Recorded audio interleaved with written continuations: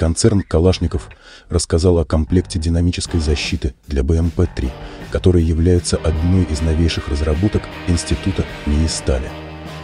Комплект создан из элементов динамической защиты нового поколения ЭДЗ-4С-24.